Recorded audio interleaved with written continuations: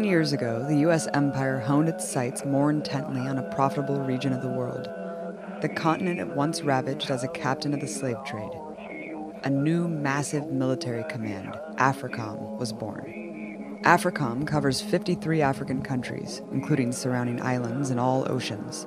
It consists of four main components, all with interesting names U.S. Army Africa, U.S. Naval Forces Africa, U.S. Air Forces Africa, and U.S. Marine Corps Africa. Although most U.S. military presence on the continent has been under the auspices of humanitarianism, AFRICOM officer Rick Cook admitted that the U.S. has been at war in Africa for years. Its footprint includes an array of drone bases, camps, and compounds carrying out the American tradition of training and arming proxy militaries responsible for flagrant human rights abuses and a variety of black ops. Far from a low intensity war on the continent, AFRICOM averages several missions every single day. Every empire has longed for ownership of Africa for the same reason its unimaginable treasure of minerals and raw materials. Much of that buried wealth is concentrated in Africa's south, in the Democratic Republic of the Congo. The DRC is home to 80 million people with 250 different ethnic groups and over 700 distinct languages and dialects. Taking into account its untapped minerals, it's considered the richest country in the world, with reserves worth $24 trillion. The DRC has 10% of the world's copper, 30% of its diamonds, and 70% of the world's coltan and it produces over 50% of the world's cobalt. Among Congolese who literally risk their lives working in cobalt mines, tens of thousands are children, working 12 hours a day for a dollar. Paying local militias to illegally dig, Western mining giants make millions off this criminal enterprise, including Adastra Minerals and Bechtel Incorporated. I spoke to Kambale Musavuli, spokesperson for Friends of the Congo, about the country's resource curse and how empires have shaped the region. During Mobutu's rule in 1982, the Congressional Budget Office released a report entitled Cobalt Policy Options for a Strategic Mineral, outlining how the shortfall of cobalt is obviously a concern for U.S. national security. Talk about what cobalt is and the significance of this report. Congo is the number one producer of cobalt in the world. Even when we have peace and no peace, we are still the number one producer of cobalt in the world. There is a high chance that your batteries of your cars, of the batteries of your phones, your TVs, all those electronics that you use today has cobalt from the Congo, but no one knows that. But the, the document you point at is very particular. Like when people look at the cobalt policy, I see it in twofold. The first vulnerability, the reason why they created the cobalt policy is because there was shortage of cobalt in Congo. This was caused by a rebellion. There was a rebellion in the late 70s that disrupted the exploitation of cobalt in the Congo. And that made people worried in the United States. Americans noticed this because in the 1980 and 1981, there was shortage of color TV in the US. Consumers did not know why we had shortage of co uh, color TVs but it was directly connected to the cobalt in Congo. So we had to figure out, okay, we don't produce cobalt in the United States. We don't have a known reserve of cobalt in the United States. The country where we get cobalt, back then it was called Zaire, it's now Congo, has a president that we have installed. What needs to be our policy toward it? So this document was the justification of supporting Mobutu knowing that he was pilfering Congo's uh, national coffers. Uh, he was uh, actually you know, killing uh, dissidents in the country and so on. But because he was so essential for our access to cobalt, we supported him. Not just because of our electronic device. The first vulnerability is not electronics. If there is a shortage of cobalt in the United States, it will impact the US military. And they said in the document right up in sight that without Congo's cobalt, we'll have problems waging war. We will have problem with that. What does the U.S. military use cobalt for? You cannot have a drone without cobalt. You cannot have uh, your planes without cobalt. You cannot send a space shuttle without cobalt. In your nuclear uh, reactor, you see that also. I mean, it's used virtually in mo most of the uh, major uh, military and aerospace equipments if there is a shortage of cobalt, we can wage a war. That's the first vulnerability of the cobalt policy. So if we want peace in the world, let's make sure that Congo is in control of the Congolese so that they can use the resources to better their lives, have clean water and electricity and better life in their own country rather than seeing the minerals flee, uh, fleeing the country, going to Western nation, and it's being used in military, um, in the military industry, causing havoc around the world. From first gold to rubber to human slaves to now cobalt, Africa has endured over five centuries of oppression and theft by European empires. So much so that the entire capitalist world was able to develop through an annihilating policy of underdeveloping Africa. The Congo has a common colonial origin story. The diverse landscape, which contained 450 independent African groups, had borders drawn around it in the 1880s as a private holding of European investors. The colonial project was formally recognized as the Congo Free State at the 1884 Berlin Conference, a meeting to divide Africa by European empires and no Africans. The Congo Free State's head fat cat was the bloodthirsty Belgian King Leopold II, who led an army that conquered the region, murdered its African leader, and brutally repressed its people. The Mad King broadcast to the world his noble mission of bringing civilization to the newly formed Congo. Meanwhile, he was pillaging and plundering every inch. His tactics included cutting off the hands of workers, including child laborers, for the crime of failing to meet their daily rubber production quota. Leopold and his military commanders even encouraged their soldiers to collect severed hands as a measure of success. But on February 26, 1885, Henry Sanford was signing on behalf of the United States the document saying that they're giving this huge land called the Congo to Leopold II. Leopold II controlled the land as an individual. He was this corporate mogul. I can't compare him to Donald Trump, who he says, I want real estate. I have a very tiny country called Belgium, but I need a land that has so much resources. So they gave him the land. He was the CEO of the Congo, the so-called independent state of the Congo. But with that land, they were exporting rubber, they were exporting um, elephant tusk specific ivory abroad.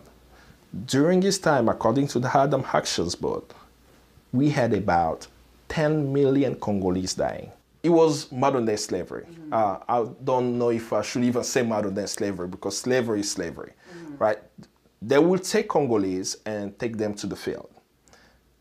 You, you, have, you have to bring rubber. So let's say if I don't bring 60 kilogram of rubber, that's my quota. No, I need to bring that amount every day. Either I will be beaten to death or killed, or my hand will be chopped off. And because of the brutality, the population of the Congo at the time was about 20 million, according to the census, and it decreased to 10 million. But the world didn't know.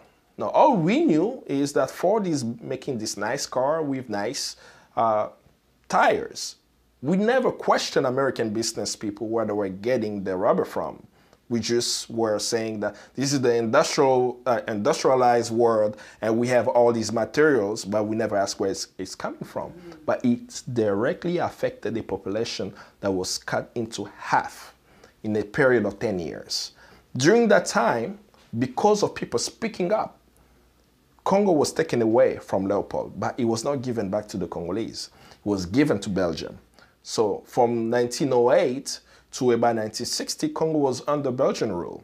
So when you look at the archives videos of the Belgian rule, you will see videos where you have this white Belgian speaking in front of a class, uh, teaching the Congolese how to be civilized. And they will have all these propaganda videos being shown in Belgium, where they will literally say they were bringing civilization, uh, civilization to Congolese, teaching them how to eat, how to open doors, how to use a fork. That's how people live. So when a Belgian sees that on national TV, says, oh, we're doing great work in Africa. We're teaching people how to be civilized. No question about how the uranium that was used to bomb Hiroshima and Nagasaki came from the Congo. The Belgians took it out of the Congo and gave it to the Manhattan Project in New York City. No, that's, that was uranium from the Congo. There is no question that in the Marshall Plan to rebuild Europe, Congo's copper was essential. They were not treating them as citizens or even as human beings. That's what caused it, uh, not just in the Congo, but across the continent uh, through the colonization period, people to rise up because we say, wait a minute, I'm a human being. Why am I not being treated as a human being? Mm-hmm. So many Africans, specifically in the Congo, many young Congolese rose up. That's how Patrice Lumumba rose to prominence. Prime Minister Lumumba was part of a breakthrough period for the never ending resistance to colonialism. In the 1940s through the 80s, colonized peoples all over Africa formed political parties, waged battles for self determination, and expelled their European overlords. From Angola to Guinea Bissau to South Africa, independence movements inspired oppressed peoples everywhere. The DRC was no exception. Che Guevara even risked his life on the battlefields to aid Congolese liberation. After almost a century of that colonial rule um, from Belgium, in 1960, Congo chose its first democratically elected leader, Patrice Lumumba. Talk about the struggle that made this happen and the significance of Lumumba's victory. Patrice Lumumba is a um, glitch in the empire. That's the way I look at him. Uh, he was also among the elite, if you, you may say, the elite Congolese, uh, meaning that in Congo, you couldn't study after eighth grade under colonial rule. So literally after eighth grade, you, you're not getting an education. And then you take a test uh, where they give you a card saying that you're a civilized person. So they actually had the cards that say no, civilized card, that they will say you are civilisé, as they say that. With that card, it allows you to go downtown, to, uh, to be able to drive, uh, to go to movie theaters. Because you couldn't end up downtown in all these Western stores without a car, you'll be arrested. So Lumumba was amongst those who had that access. But he understood something very fundamental, which was not part of the elite class. He understood that we didn't control our land. So he took the voice of the villagers who were saying what we say Likambo ya Mabele, the problem of land, sovereignty and took it to prominence. He understood the importance of Africa being united. He understood the place of Congo in the unity of Africa. So he speaks and he was asking for immediate independence. That there is no reason why a Belgian person should be in the Congo beating Congolese on their own soil and treating them as inhumane. I said, we are adults, we can control our own country. In 1958, a 34 year old Lumumba spoke at an international Pan African conference hosted by the Prime Minister of newly independent Ghana, Kwame Nkrumah. There, he talked about the national aspiration of emancipating Congolese from the boot of colonialism. During the Pan African Congress, Kwame Nkrumah did, uh, created the plan of a United States of Africa. Guess where was the capital? The capital was Kinshasa. Back then it was called Leopoldville. And they understood that if Congo is free, Africa will be free because they saw the Congo with its resources as the heart that will spread its energy across the continent. The Congo River that can provide electricity to the whole African continent. We know that, but it has not been exploited. The arable land, Congo has the potential to feed the whole entire world until 2050 when the world's population is 9 billion people. And Africans are not even getting access to food. And all these uh, resources Congo had, Lumumba had the mission to go make sure that the Congolese can be independent and use it at the benefit of uh, the Congolese and, of course, the African continent as a whole. But it was a threat to Western powers. Lumumba made it clear to Western powers that if he was elected he was in control of the Congo, he will make sure that the resources of the Congo are benefit the Congolese people. I wanted you to also explain um, how in 1965, of course, Lumumba was deposed by a Western-backed coup, um, replaced by anti-communist military dictator Mobutu Seko. What forces made this happen? The United States. Um, effectively, after Patrice Lumumba won the elections of uh, May 1960, uh, within a few weeks of him being in power, he was deposed. Uh, within months, he was assassinated by the CIA on January 17th, 1961. Um, I'm imagining even the stories that we have on record is that he was killed, buried, then they had to dig his body out because they were afraid that wherever they buried him, people would use that area as a place of pilgrimage. And then they chopped his body off to pieces and put it in assets and made sure that there was no remaining of Patrice Lumumba. He was a democratically elected leader of a country, assassinated simply because he wanted the resources of his country to benefit his people.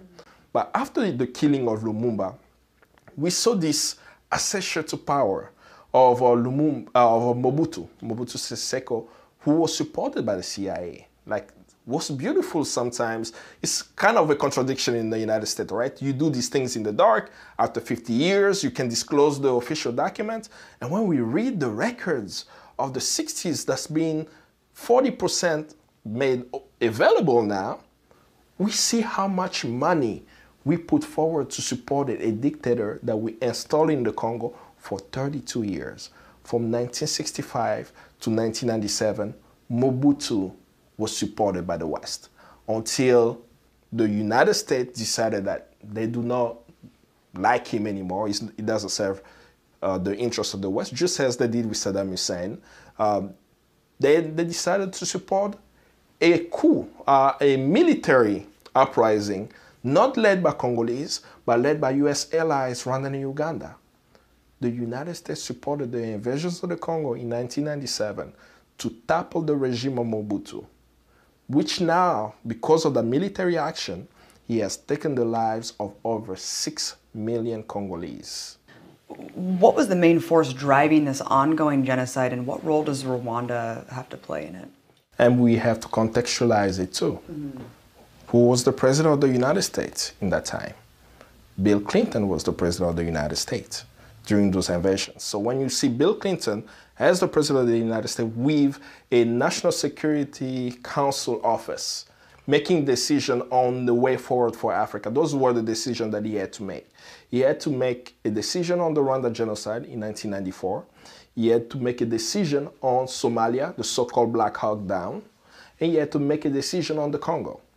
All three decisions were a disaster. All of them. And I uh, still remember when Black Hawk Down happened. Uh, I was young back then, uh, speaking to people that didn't understand why Somalis were shooting at American soldiers. I say, you are an invader. That's why they're shooting at you. If you are not there, you'll not be shot. So that's the reality. But now to go to the Congo, Bill Clinton uh, and his staff at the time, Susan Rice um, and others, they created these Entebbe principles, which coming out of those principles, they were speaking about the so-called Renaissance leaders of Africa. Uh, they chose African leaders saying this is the new wave.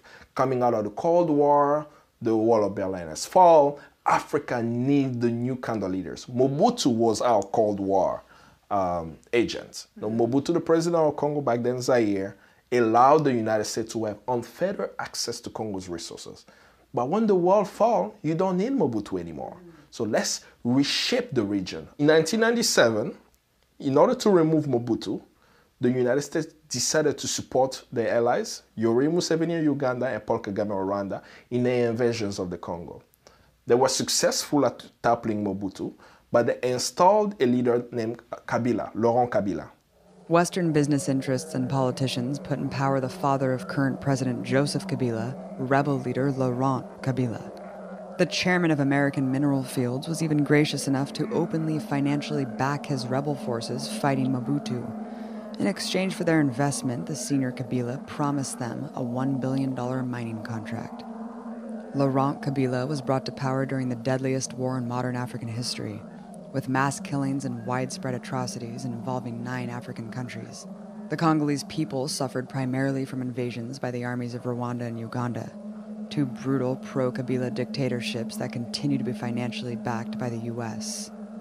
The second invasion of the Congo was so terrible that even my family, we had to flee. Uh, we left in, um, in August of 1998.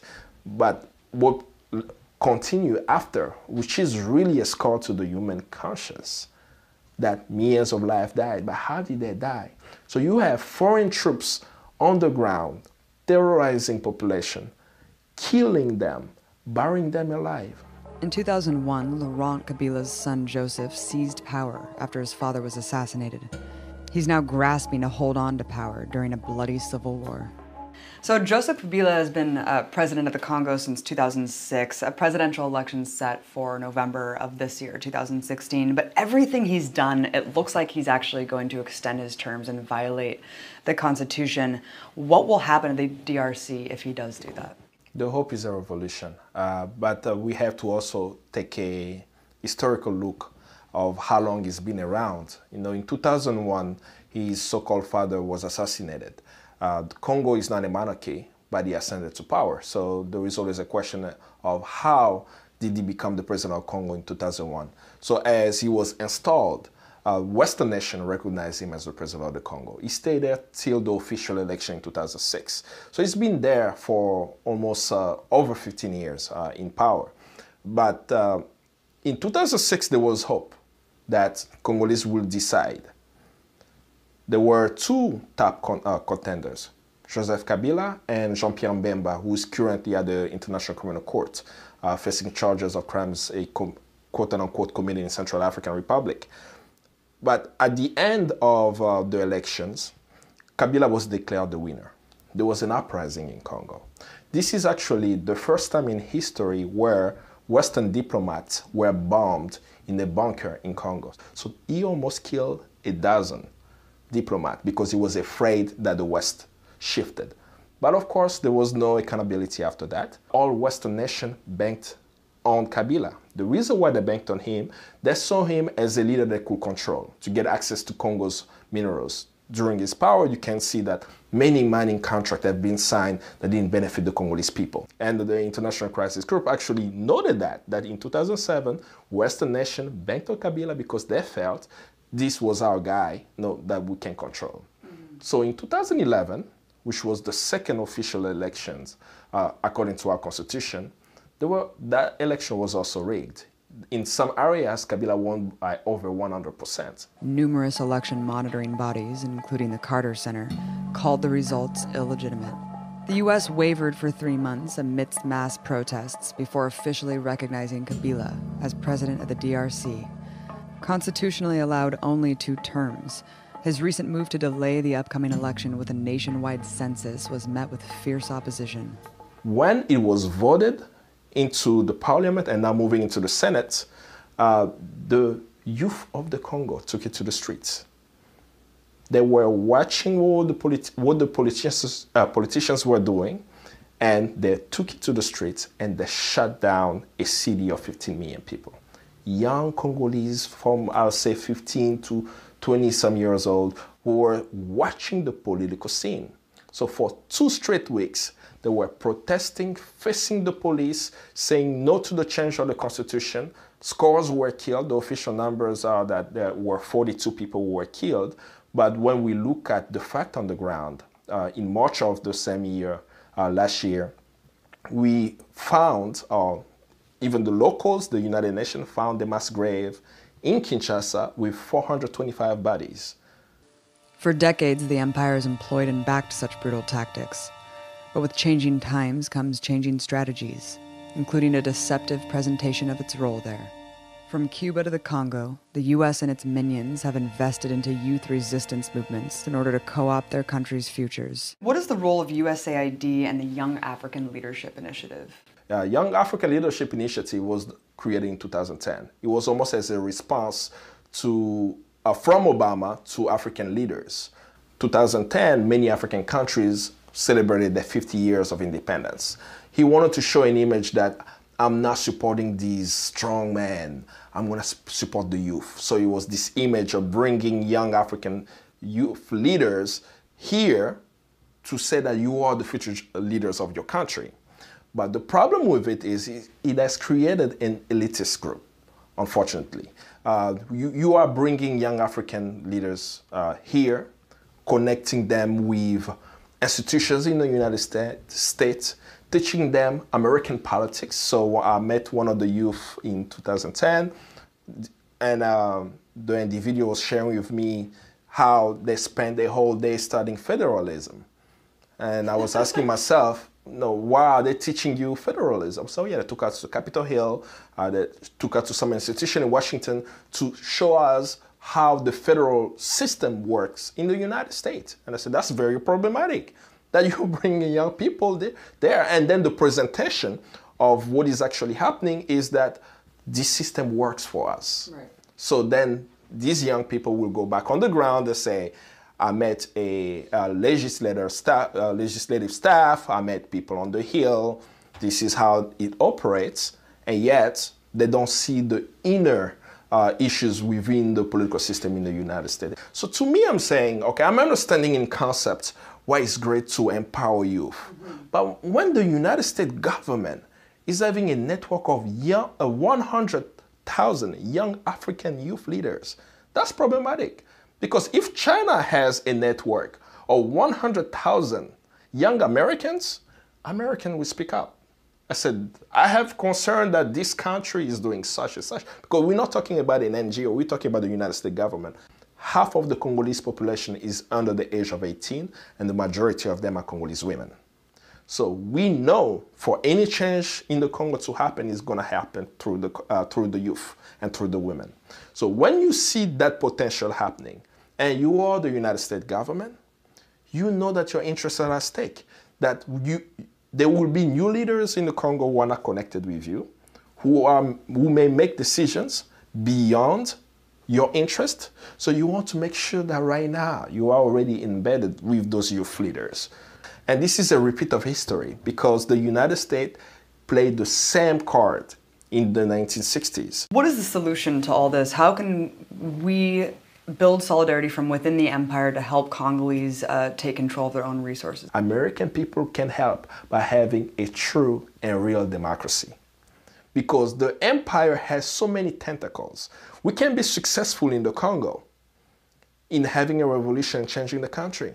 But that doesn't mean that that's going to be the case for Chad, that's going to be the case for Afghanistan and other places around the world who want, to have better, uh, a better life, a better opportunity. It all starts here.